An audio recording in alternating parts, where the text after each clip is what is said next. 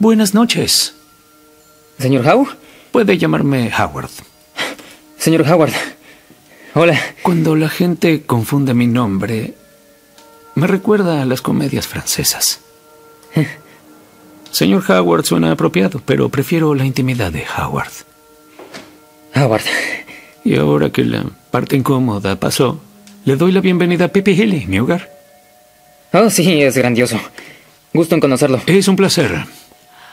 ¿Le gustaría tomar un té? Claro, pero antes... eh, ¿Puedo usar el baño? Estupendo.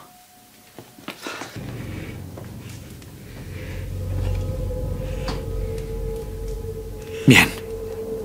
Podemos dejar las tonterías de lado, señor Brighton. Tal vez sería mejor, para nuestra reciente relación, abrir nuestros corazones con absoluta sinceridad. Verá, hace algún tiempo comencé a construir un traje de morsa muy realista. Y tengo la impresión de que si le hago algunos arreglos le quedará perfecto. Cielos. ¿Qué demonios es esto? Pero, cuando esté en el traje de morsa, deberá ser una morsa. No se escuchará el sonido de una voz humana.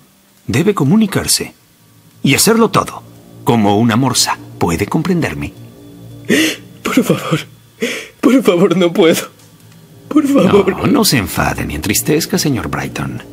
Ambos nos embarcaremos en una expedición exitosa, no como la de la Anastasia. Su error fue buscar monstruos allá afuera. No debieron dejar el muelle. Las bestias siempre estuvieron aquí. ¿Por qué? ¿Por qué me hace esto? ¿Por qué? ¿Por qué? Para resolver un acertijo como el de la Esfinge.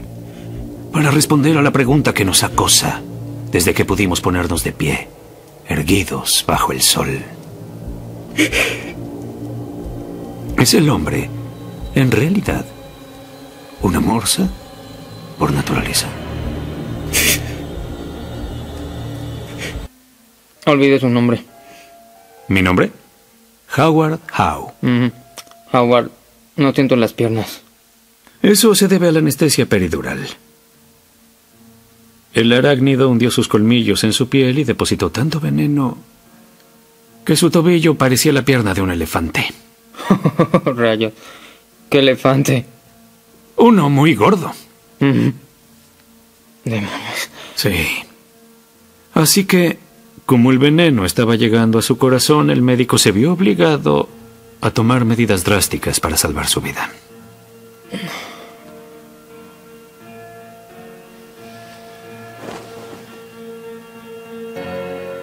¡Oh, cielos! ¡Oh, por Dios! ¡Oh, maldición! No tengo pierna. Eso parece. Descárgate, muchacho, déjalo salir. No tengo pierna. ¡Oh, por Dios!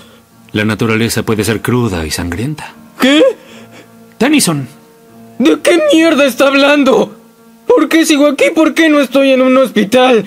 Bueno, en el hospital puedes enfermarte. El doctor Mossier dijo que sería mejor que te quedaras aquí, ya que la habitación fue esterilizada. Era preferible que te recuperes aquí. Eso no tiene sentido. Claro que sí, una araña te mordió. Quiero hablar con él. ¿Dónde está el médico? Quiero hablar con él. Bueno, eh, ahora está de ronda médica. ¿Ronda? ¿Qué ronda? Estamos en medio de la nada. Oh, no, no, no. Claro que no. Eso sí que no, señor Brighton. Yo he estado en medio de la nada y es un lugar horrible. Ah, tú y tus malditas historias. ¿Qué diablos es esto? ¿Qué? ¿Por qué te ríes? Eres gracioso. Es un cinturón que hace que no te caigas de la silla. ¿Por qué? El cinturón evita que te caigas hasta que pase el efecto de la anestesia. Cuando la epidural pierda su efecto, recuperarás el control de tus extremidades. Bueno, de algunas.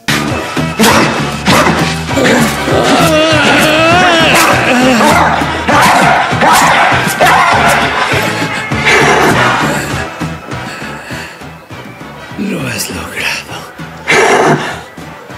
Eres mi señor Tusk.